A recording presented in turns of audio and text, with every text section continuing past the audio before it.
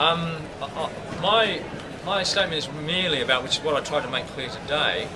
You know, th- there is a finite life of all fixed wire technology. So the first thing I want to say is, I think almost everybody in the industry agrees. Even the real wireless advocates, you know, such as the Reg Coutts and others, say you need both fibre and wireless. Wireless just can't do it on its own. It just simply can't.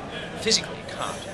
Um, so you need both, um, both fibre infrastructure for the next 50 years, and, you, and wireless is going to keep going. We need both. It's very, very difficult for the private sector to build a nationwide fibre infrastructure.